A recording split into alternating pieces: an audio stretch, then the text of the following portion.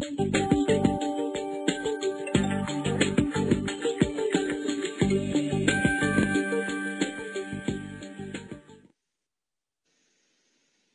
hope that one outcome of this presentation will be that you, the participant, can answer these questions.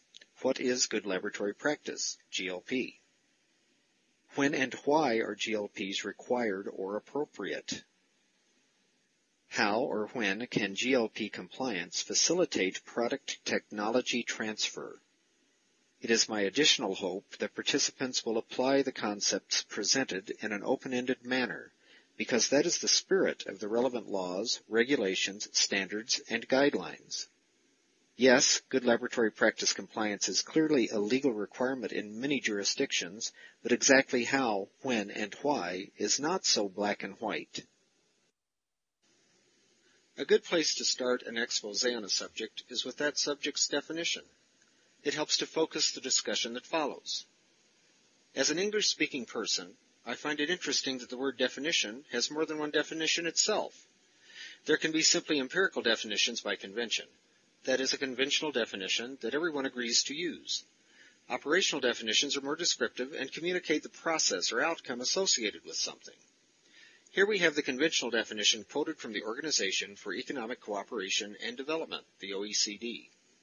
According to OECD, good laboratory practice is a quality system concerned with the organizational process and the conditions under which non-clinical health and environmental safety studies are planned, performed, monitored, recorded, archived, and reported. FDA operationally defines good laboratory practices via regulation requiring quality assurance unit management of a quality system applicable to non-clinical studies. The FDA's GLP regulation, unlike the OECD handbook, does not list a conventional definition for GLP. As you will see throughout this presentation, these are the two primary sources for defining good laboratory practice.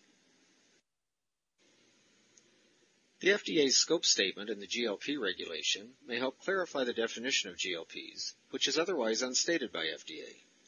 The scope begins by saying, this part prescribes good laboratory practices for conducting non-clinical laboratory studies that support or are intended to support applications for research or marketing permits for products regulated by the Food and Drug Administration.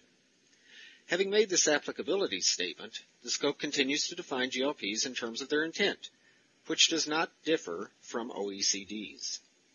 It states, Compliance with this part is intended to assure the quality and integrity of the safety data filed pursuant to various sections of the Federal Food, Drug, and Cosmetic Act and the Public Health Services Act.